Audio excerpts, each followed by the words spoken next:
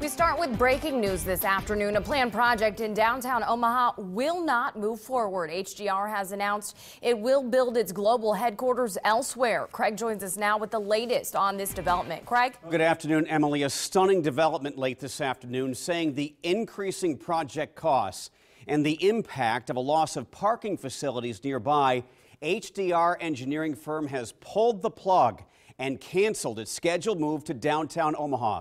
The company is now looking for a different site. That's according to CEO George Little. Omaha Mayor Jean Stothert issued a statement calling this disappointing and regrettable. She is speaking with reporters right now. Let's listen in from City Hall. So, um, you know, I, I don't know um, of any other development looking at that site right now.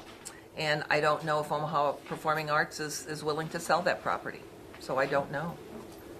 The portion that the city owns, was there an agreement negotiated for the purchase already if that other section was sold by? If HDR was going to build on that lot, the city would gift their portion, their 20%, um, over to HDR. That was, that was an understanding that we had from the beginning.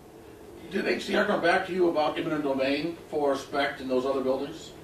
Did HDR come back to us? Yes. For Was, was eminent eminent domain? domain after, during this whole process, was eminent domain ever brought up again? No, HDR did not. Um, you know, in the very beginning, when uh, Omaha Performing Arts was trying to negotiate the sale of those four buildings with the private property owners, they they tried to negotiate for about four months, and they did not come to an agreement with the property owners.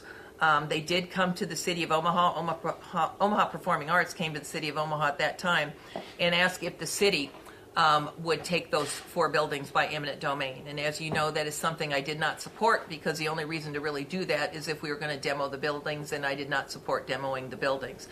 And so we asked at that time if we could negotiate a selling price for those four buildings. HDR never asked for eminent domain. Um, you know, as as you know, that Suplot, um, there was a possibility the city could have taken that by eminent domain.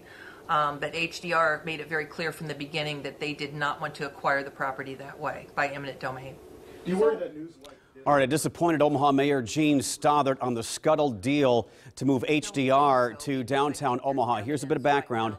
HDR and Omaha Performing Arts could not reach an agreement to finalize the sale of the property at 11th and Dodge.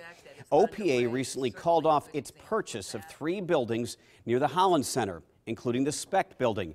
Preservationists were very worried that demolition crews would knock down the buildings to make way for parking lots for HDR workers. Once that failed, Omaha Performing Arts and HDR still had to close on the sale of the property so that the company could break ground this summer.